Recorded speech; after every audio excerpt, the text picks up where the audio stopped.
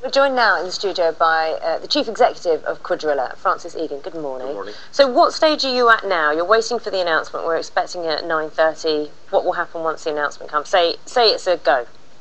Well, there will be a period where we have to sort out some planning conditions that usually come with these things with the county council, uh, and that typically takes several weeks. So there will be no activity on site for, for a while. Uh, we'd expect we'd be constructing the site towards the end of the year, drilling in the first half of next year, and probably fracking and testing the wells in the second half of next year. And what amount of land will be affected, will be fracked upon?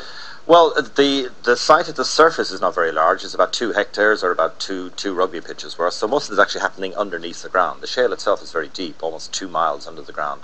So we drill down, and then we can drill horizontally for one and a half kilometers, but you won't see any of that at the surface. And, and the, the hole that we're drilling is about eight and a half inches in diameter. So it's very small scale. If it gets the go ahead, why is it okay for the views of local people to be ignored?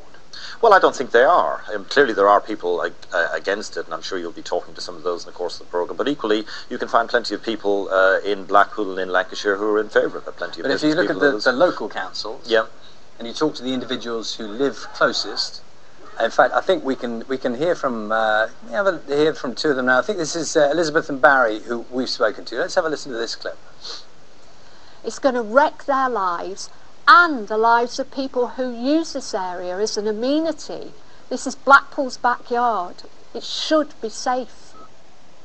What do you say to people who, who are still of that mindset today as the decision is about to happen? Well, I mean, clearly they're, they're concerned about it, but, uh, but it is safe. I mean, it has been assessed extraordinarily thoroughly by the Environment Agency and by the Health and Safety Executive. And not only has it been assessed, but the monitoring that's going to go on around these sites uh, is unprecedented. You know, we will monitor everything: uh, traffic, noise, lighting, air quality, water quality, etc., etc. So, so they really can feel uh, assured. I understand that it is it's like a construction site, but it's temporary, and when it goes away, you won't know it's anything is there. I'll tell you what people worry about. They look to the United States, Yeah. where fracking takes place, right? And there has been um, contaminated drinking water. You mentioned water, the contaminated incidents of contaminated drinking water, um, families sick with air pollution, and what people perhaps are thinking here is. We don't need to risk our families, put our families at risk with this. How can you be absolutely sure that these aren't linked? Well, we're not putting anything into the ground that can contaminate drinking water. In fact, you mentioned the United States. There's not one single case in the United States of a public water supply being contaminated by fracking. Not, not one. Private water supply? Private water supply, where people drill wells in their back garden, there are uh, instances where methane, which is existing in groundwater, has got into the, the wells. But there is a great big debate whether that's anything to do with fracking or whether it's naturally occurring methane. But, at the, f- but in, in the UK, 99.5% of us get our water from a public water supply. There is not, not a chance, frankly, of getting water contaminated. Uh, talk to us about what your plans will be longer term, because in this case today we're talking about two sites, aren't we? Yes. But that's not your plan. You're an enormous uh, international corporation, aren't you?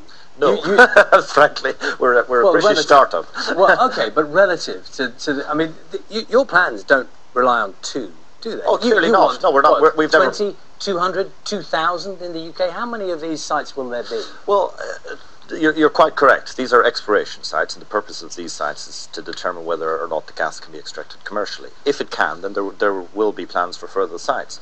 But you need to make Give a us an estimate of how, how, how people will be concerned about. What, what's the scale of what you're planning? Well, we we're not planning at the moment because until we get commercial flow rates, we we, we don't know, frankly, what Okay, rate will flow at. But there could be, we have said in the past, across the whole of Lancashire, approximately hundred sites.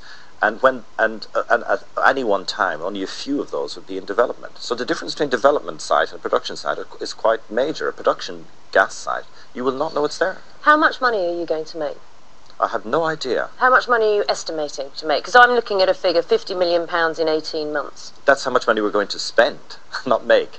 So we, if we if we uh, get the go ahead today, we will be putting tens of millions of pounds into Lancashire. Okay, so what profit margin are you looking at then? What return are you looking at? The reason I ask is if people in Lancashire are so upset with the initial two sites, what are you going to give back to the community? Because you're going to make a lot of money from this if it's successful, Well, we- which is what you're planning it, it to be. Well, we're in business. We're in business to make money. We will pay taxes. We will pay workers. We're a British company. We're not a multinational and you'll make we're based in profits, and you'll be in an environment and in a community which isn't happy about this. So How are you going to ease the relationship? Well, we will we will employ people in the community. We're based in Lancashire. We're not we're not some company coming in from the outside. We're, after this, I'm going to Preston. That's where our office is.